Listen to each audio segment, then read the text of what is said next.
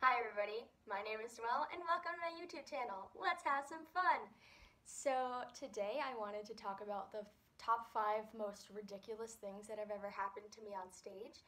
For those of you who don't know me, I am an actor, I've been on stage for quite a while now, and I've experienced some pretty wild stuff on stage, and because I'm filming this during the time of the coronavirus pandemic, and most of us, if not all of us actors, are no longer on stage at the moment, I thought it would be fun to reminisce and think about some of the craziest things that have happened to me while on stage.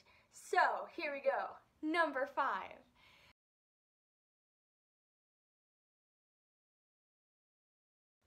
I was in a play called Medea and Medea for Medea. Not Tyler Perry's Medea, the, the Greek figure Medea. Um, I am definitely not playing Tyler Perry's Medea. I'm about as white as they come. So it's this very little known play that was done once or twice in New York and at my school. And the play takes the Greek story of Medea, the Greek myth, and adds in Thelma and Louise. And somehow it's mashed together. The, the director and the writer calls it a mashup. He likes to write mashups of like Greek things and contemporary things. So I was playing Medea number two, also known as Thelma. And it was a really weird experience because I watched Thelma Louise for the first time during the rehearsal process for this, and I've never watched a movie and had all the lines memorized before, so that was weird. So it was basically, I was playing Thelma from Thelma and Louise, but everything was changed so that it was Greek. So it was like, um, the fastest route to Athens from Megara is instead of Texas, we're going to Athens. Um, and there was a part chorus would give lines out to the audience and they would read along with the chorus.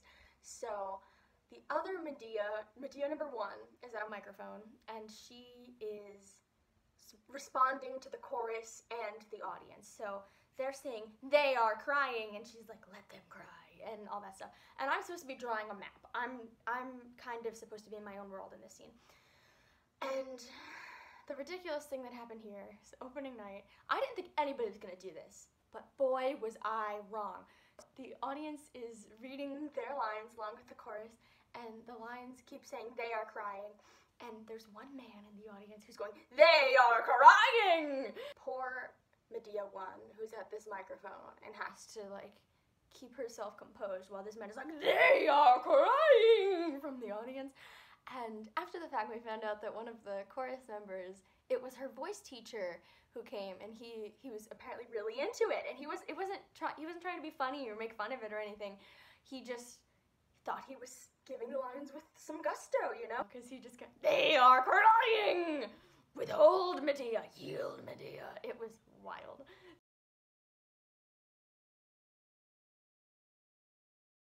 We're doing Blithe Spirit, and I'm playing Madame Arcati, who is a psychic medium who kind of is a little quirky. I get cast in quirky roles a lot of the time. Maybe it's because my eyebrows can go like this. I don't know. It's it's because I'm a goofball. So she's a psychic medium, and there's a scene where she's trying to contact the dead, and she goes into a trance and passes out onto the floor, right?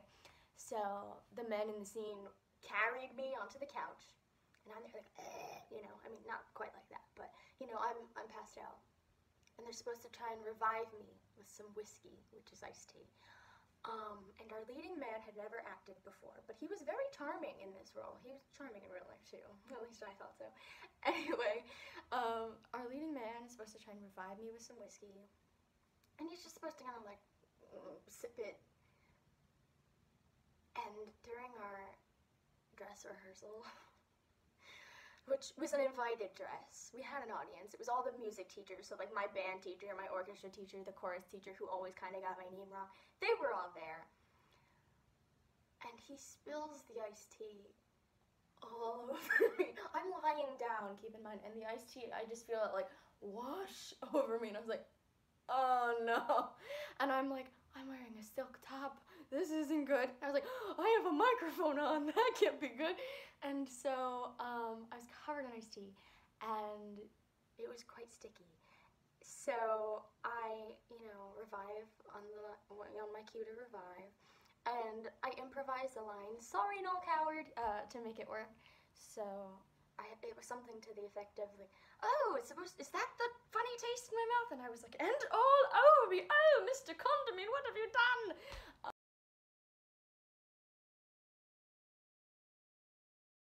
My junior year of high school, we did a play called The Games Afoot by Ken Ludwig. It is on this YouTube channel if you're interested in watching it. I promise I've become a better actor since high school. I majored in. I majored in theater, and I've done so many more shows and films since then. Just a disclaimer, but it's a fun watch. You should watch it for a laugh. Um, so we're doing The Games Afoot. It's a murder mystery comedy farce sort of thing. The very first scene is a play within a play, where the leading man gets shot and so in that scene, we're all dressed in these like extravagant 1800s kind of dresses. I had this gorgeous teal dress on that was so big and froofy, and I had a really quick change after that scene. So we had orchestrated it so that I would wear my actual costume underneath that costume. It was so big that I could. And is, the teal dress was too long for me as most things are. I'm only five foot two. I'm actually taller than I thought I was. I thought I was only five foot one, so that's really exciting for me. But um, so they had to hem it, and they decided to hem it well, like really quickly by hand while I already had it on, because it wasn't really a big priority for them because I only wore it for like a minute on stage, and so they had me put on both costumes, and the costume lead was like, okay, and they hemmed it really fast by hand and sent me out on stage. So we do the play within the play, first scene. Oh, somebody get a doctor! He's he's shot. Blah blah blah. All the all the drama, the delicious murder drama, and I exit. I go to take the dress off. Somebody's helping me, and it won't come off. What is happening? Why can't I get this dress off? Oh my god, I'm stuck. What is going on? And we're in the dark, so we can't see what we're doing. And I'm like, this has never happened in tech. What is happening? And I'm trying so hard to get this dress off me, and it just won't come. So we end up like scurrying out of the theater into the hallway where there's some light so we can see what's going on. And we realize that I've been sewn into the costume. So the small dress uh, in the process of hemming the big one, they, they sewed them together. So I could not escape, and I was like, I have to be on stage in like five seconds. They ended up cutting me out of it. Um, so that was pretty funny. T- utterly terrifying, because I've never missed an entrance in my life, and I don't plan on it. Um, so knock on anything. So I was like, oh my god, I'm gonna be late for this entrance. What is Kyle gonna do? I have the first line, blah, blah, blah, blah, blah. It's supposed to be like, oh, we're the couple, we're here, hello, welcome, it's Christmas. And I was like, oh my god, I'm stuck in this, this dress. Um, so they ended up cutting me out of it. And so then the next day they were like, okay, let's redo this. Let's let's fix it so you don't trip on it. I did the same thing again. They sewed me into the dress a second time.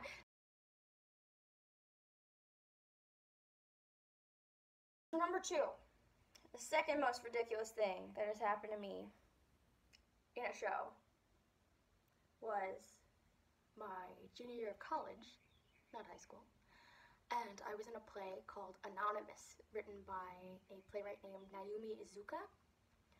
And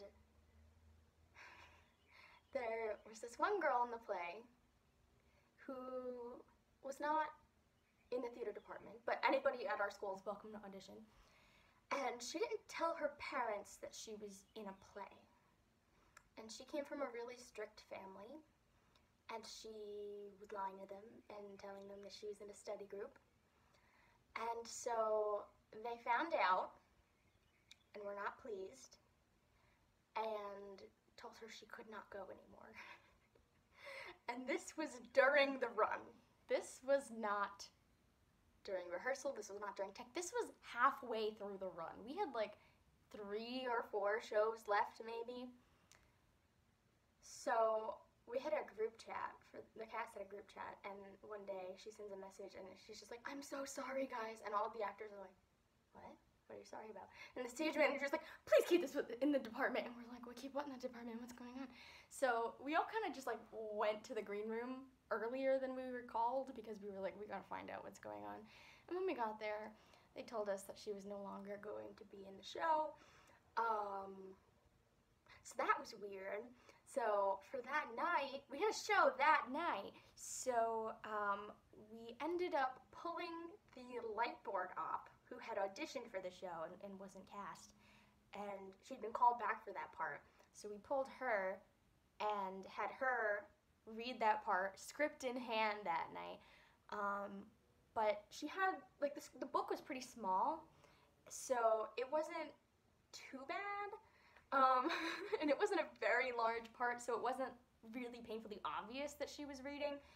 Um, but when that was happening, a lot of mistakes happened because she was a light board op. She didn't know the blocking. She didn't know, well, she didn't know what we were doing on stage so much, you know. Um, she got involved the week before during tech, not not from the beginning. So the other actors who were part of this family were kind of like leading her around the stage, and I admire her so much. That takes so much nerve, like the guts you need to step on stage in a role you've never played before, you've not rehearsed once for, that takes guts. And to be there holding a book in front of a crowd, that takes guts. And she saved our show. We were all so thankful for her. So I just want to say, Nia, if you're watching this, which you probably aren't, but Nia, if you're watching this, I'm very grateful to you because that was, you did an amazing job. The thing that I just want to say about the other girl, she was very sweet. You know, it's not her fault that her parents were like, you can't go anymore. Um, but she didn't, she'd never been in a show and she didn't really kind of catch on to theater etiquette, um, which I don't know how much of that I can hold against her because she didn't you know, she wasn't a part of that world before, but, um, you know, even simple things like don't eat in the theater, she, she would always eat whole cucumbers.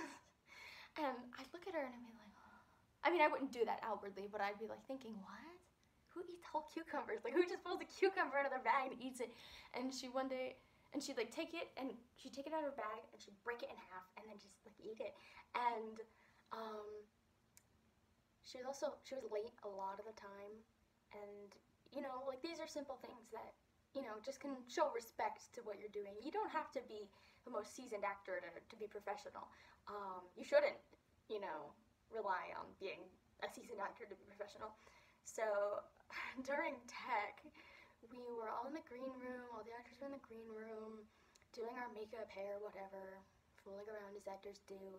And the girl who was originally cast had not arrived and she was like an hour late. It was like an hour into tech, and she was nowhere to be found.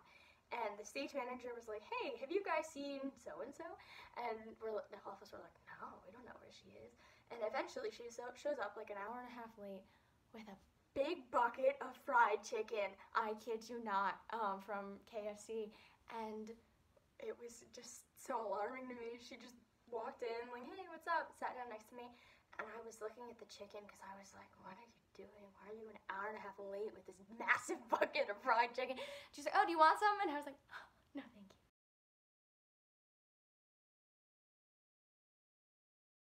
So now, the moment we've all been waiting for, number one most ridiculous thing that has ever happened to me on stage. It just happened to me this year, my senior year of college. God, I'm old. Um, I was in a wonderful play called She Kills Monsters, which is a dive into the Dungeons and Dragons fantasy world of 1995 with gay characters. And I played a demon queen, and oh, I love this part. I got to wear all leather and black and like studs, and I had a big battle axe, which is an axe that has blades on both sides and um, it had these like carvings in it, and it was just so cool. I felt so cool in that part. My first line, "Violence makes me hot," and so it was such a fun part. I had so much fun in this show, um, and it, but the thing about the show is it's not just in the Dungeons and Dragons world. It is also in the real world, kind of. They kind of blend together. But so I was Lilith, and then I was also Lily, the teenage girl who created this character who is not nearly as confident as Lilith is, and she's like a closeted lesbian. There's a lot of stage combat in this show, and I like stage combat quite a bit. When I saw that axe, I was like, mm. this. The designers on this show were mostly students. A student designed my costume and a student designed the sets and props, and they both did me right. There's this one boss fight where there's a fairy character, and she's supposed to be one of the bosses that the, the adventurers in the show have to, you know, take down. And so I was a demon queen, and this other girl's an elf. And the choreography in this fight was that we both ran to the center where the fairy is and swing our weapons, which she ducks, and we, we swing. And then she was supposed to grab the other girl's head and my head and pretend to bonk them together. Now, one night during an invited dress, it, honestly, it was practically our opening night. The the seating arrangement for the show was very limited, and we had a full house, so it was practically opening night. She grabs the other girl's head. She grabs my head. and we actually conk. And I have it on video. Director didn't know. He was in the audience and he was like, wow, that looked really good tonight. And did not realize that we actually conked heads. So, but the thing is, we couldn't leave.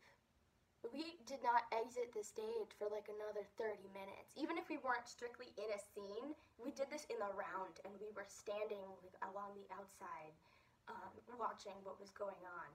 And so we had just been conked in the head.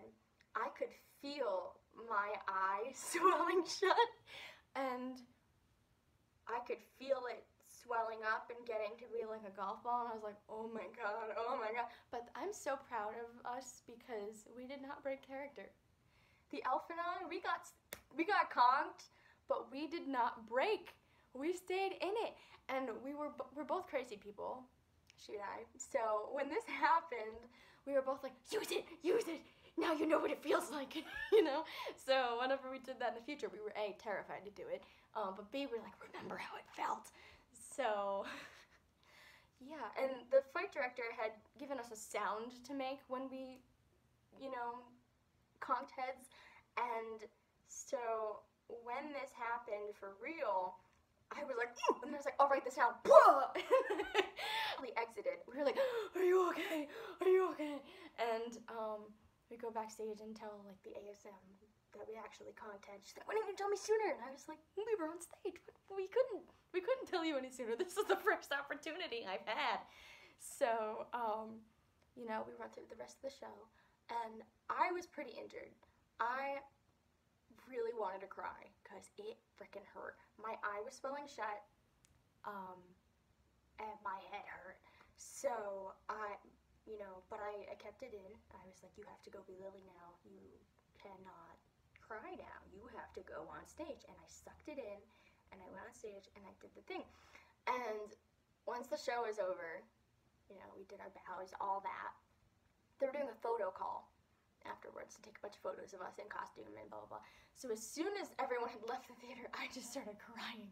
And my boyfriend was on crew, and he came backstage to like congratulate me. He was like, "Oh, you were great!" And I was like, Ugh! I just broke down because I'd been holding it in the entire time. He's like, "What? What? What's the matter?" And I was like, "Kate and I conked heads for real." And he was like, oh, "No." And I was like, Ugh. and then they're like, "Photo call," and I stopped crying, and I was like, "I have to go." And he was, it was, he gave me the, this look like, "Are you insane?" And I was like, "What? You can't turn off your emotions to do your job?" And then I left, and I did photo call and kept it in through all the photo call. And then the stage manager came and brought me ice, and I was icing my head. And then the director's like, "What happened?" And I was like, "We conked." and um, so I was finally able to cry and let it out. And our TD was really sweet and checked up on me a bunch of times and like asked me questions. He was like, "I don't think you're concussed. I would have somebody check on you anyway." Um, but I had a big golf ball on my head, and sh- the girl who I conked heads with, I took the brunt of the blow. It was like her head was the weapon to hit my head. and so she had a little tiara on, this little like wire metal tiara. And that cut me like right about here, like above by my eyebrow. And so I had a cut and then like the golf ball. And it was pretty big and I got a black eye from it. Theater's dangerous, guys. I got a black eye not from cheerleading, not from stunting, not from any sports in school, but from theater. I used to be a flyer, the one they'd like throw and catch and all that stuff in cheerleading, and I didn't hurt myself doing that. I hurt myself. and she kills monsters. So be careful with stage combat. Always do a fight call. We did a fight call, but I, I we still don't know what happened, what went wrong. But um, kind of funny. So I had a black eye, and luckily, since I was a demon, my eye makeup look, I was doing a red eye makeup look, and it covered it up beautifully. You could not tell. So yeah, and I was like, also, if she has some bruises, it's okay. She's a warrior. She is a barbarian woman, and she it she's a fighter. She's she is gonna have some some scars, some bruises, and if it's a black eye, it's a black eye. But um, I on campus the next day.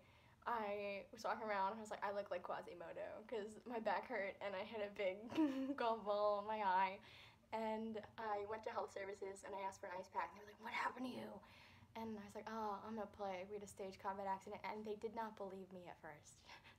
they kept asking me, like, "You're sure?" I was like, "Yeah." They're like, "When did this happen?" I was like, "Last night." They were like, "Who was there?" I'm like, uh, "All these people." I'm not. I'm not being abused, man. I'm. I'm fine. I just need an ice pack, please. So, um.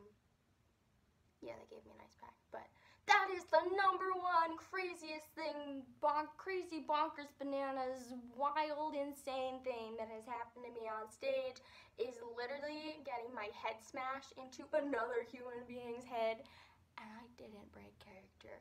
So if you're watching this and you're a casting director, um, you should cast me because I will work through pain. okay, guys, so that's about all I've got for today. I hope you were all safe and well and happy and inside your homes, and I'll see you next time. Bye!